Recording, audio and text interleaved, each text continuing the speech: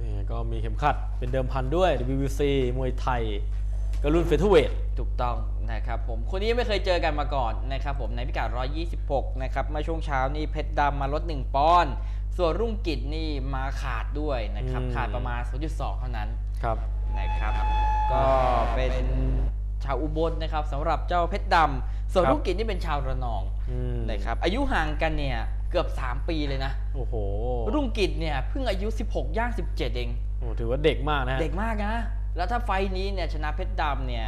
การันตีเลยว่าค่าตัวเนี่ยขึ้นแสนแน่แหมก็อีกแค่เอื้อมเองนะครับๆ fight เดียวเท่านั้นอ่าส่วนเพชรดำเนี่ยอายุ 19 ย่าง 20 ละนะครับก็ดูฟอร์มของทั้งคู่นะครับ เพชรดำก็ชนะคะแนน VIP นะครับแพ้คะแนนชนะศึกกอกรรมนาศแพ้คะแนนรถถังจิตเมืองนนท์ล่าสุดเนี่ยชนะคะแนนมาคัสคอลเบิร์กนะครับในศึก Top King ส่วนด้านรุ่งกิจนะครับก็ชนะคะแนนเก่งกล้าปอเปกโก้ ชนะคะแนนกล้าศึกเพชรจินดา ชนะคะแนนเขี้ยวพยัคฆ์จิตเมืองนนท์ล่าสุดชนะคะแนนชนะศึกกอกรรมนาศโอ้โหฟอร์มนี่สดจากไร่เลยอืมต้องว่าสดจากภูเก็ตเลยใช่ไหมสดจากละนองเอนี่อละละนนององละนอง แต่ไปซ้อมเออออยู่ที่เกียรตินาดี เอออืมผมเห็นหมอเบสกัมมาลาเนี่ยกัมมาลาหาดกัมมาลาไงภูเก็ตถูกต้องถูกต้องนะครับโอ้โหดูครับ วงในนะครับผมคู่นี้เลยเปิดขึ้นมาให้ทางด้านเพชรดำเนี่ยได้เปรียบถึง 10 ต่อ 9 เลยนะแม่ครับก็ถือว่ากระดูกการผ่านมวยชื่อชั้นก็ดีกว่า แต่ว่าก็เจอกับนักมวยดาวรุ่งขึ้นมาครับลุงกิจอู้ดูครับมีหมัดมีศอกแรกกันแล้วครับ ตอนนี้ซ้ายสโลไลฟ์นะครับผมเจอกับรุ่งกิจนี่ซ้ายหนักแรงเหมือนกันครับ ดูครับดักจังหวะแหม่ดูว่าเพชรดำครับก็ซ้ายเบอร์หนึ่งของเพชรยินดีในยุคนี้ฮะ ก็ดูว่าจะสามารถที่จะคว้าเข็มขัดเส้นนี้ได้หรือไม่ครับ ส่วนลุงกิจนี่ครับ ก็มวยเข่าแข็งแรงยกต่อไปเนี่ยแหละครับ ยกนี้นี่ยกทำการของลุงกิจแล้วครับตอนนี้นี่สถานการณ์นี่ยังสูสีอยู่ครับยังมองไม่ออกครับลุยต่อครับดูครับชิงจังหวะทั้งคู่ครับ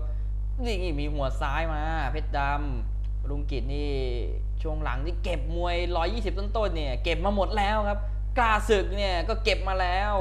ชนะศึกก็เก็บมาแล้วมาเหลือเพชรดำเนี่ยแหละครับลุยต่อเลย วงในตีขวาเข้าไปของถนัดของชอบ ลุงกีดพยายามเด้งตีแม่เพชรดำก็มีลูกแก้มาแล้วครับ ไม่ปล่อยให้ตีง่าย ๆ ครับ วงในก็ดูว่าไม่ให้เสียเปรียบมากนะครับอ่าดูจากตรงนี้เนี่ยรูปร่างทั้งคู่ก็ดูว่าทางเพชรดำก็ไม่ได้เตี้ยกว่ากันมากเท่าไหร่นะฮะครับโอ้ดูครับซ้ายตามโอ้ยนี่ครับเจอขวาคืนโอ้โหแม่ลุงกิจแกรออยู่แล้วครับ ซ้ายดักเข้าไปอีกทีอ่าต้องดูครับซ้ายกับซ้ายซ้ายไหนจะถึงก่อนงานซ้ายมาอีกแล้วครับเพชรดำลุงกิจดูยังคิดช้าทำช้าอยู่นะครับ ตอนนี้ลุงกิจแหม่ซ้ายของเพชรดำก็ออกเป็นธรรมชาติสวยงามครับแหมแล้วก็เตะแม่นด้วยครับ คือรุ่งกิจเนี่ยถ้าช้าอยู่วงนอกเนี่ยอาจจะเสร็จเพชรดำได้นะครับ ต้องเล่นวงในแต่ว่าแหมดูเพชรดำนี่ก็แก้ทางมาดีนะครับแหมวงในก็ไม่เสียเปรียบเลยครับ ตอนนี้เอาซ้ายยัดเข้าไปอีกที แหมแกบอกว่าวันนี้ซ้ายไม่ slow life แล้วนะครับ ถ้า slow life เนี่ยเสี่ยโบ๊ทไม่ให้กลับบ้านด้วยครับ ดูครับ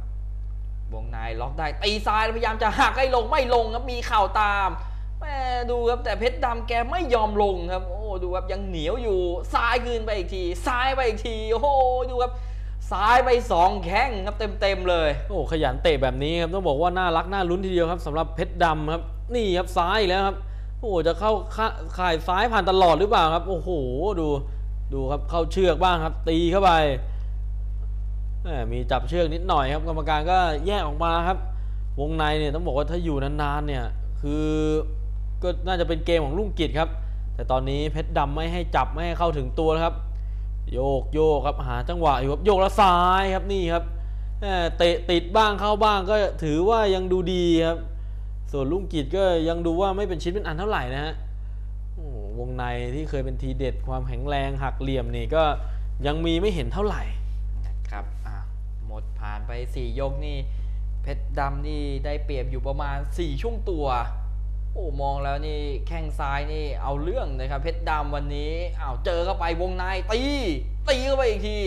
ยังไม่ไกลครับลุงกิจบอกยังไม่ไกลยังตามทันอยู่ ยกสี่ที่ทำไปได้ชุดใหญ่ครับลุงกิจนี่ต้องเอาคืน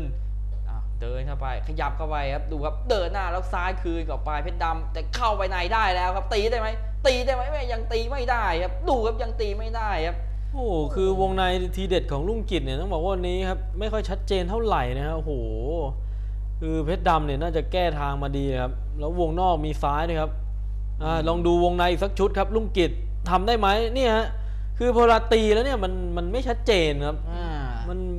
คือมันไม่มีน้ำหนักนะฮะโอ้โหาใช่เพชกรรมการดำนี่แหรือว่าเซียนมวยเนี่ยก็ฝาไดูไม่ไม่รู้ว่าจะให้คะแนนยังไงอะนะ อืมอะด่าใส่ความขยันแล้วครับยกนี้ เดินต่อครับลุงกิจวิ่งเลยครับ เดินไม่ได้ครับว่าดีครับอะดักชิงจังหวะแล้วครับ พยายาม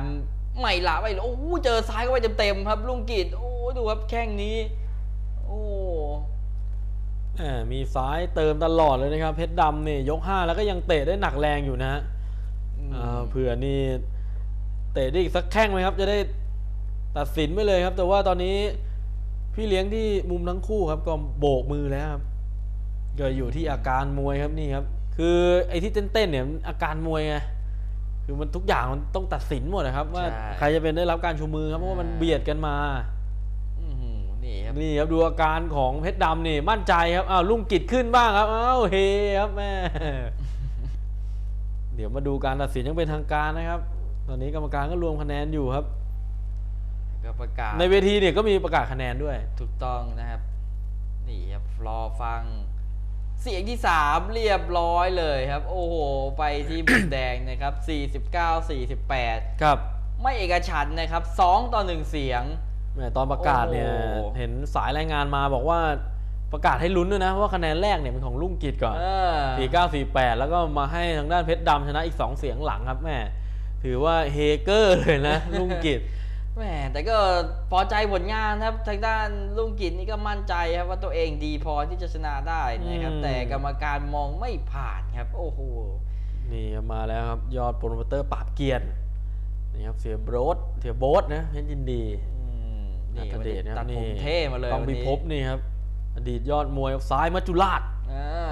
โอ้โหนี่มาเป็นเทรนเนอร์ครับนี่แล้วก็เป็นพี่นันร้านเลี้ยงเลยกำนันครับนี่ครับ นี่ก็เป็นตัวแทนจาก WBC คนครับอืมนี่ดูครับแม่รอเลยครับแม่เข็มขัดนี่เหมือนเป็นแชมป์โลกอืมก็เป็นแชมป์โลกแหละครับ แต่ว่าเป็นแชมป์โลกแบบมวยไทยนี่แชมป์มองโลกกล้องแบบอีกแล้วนะฮะ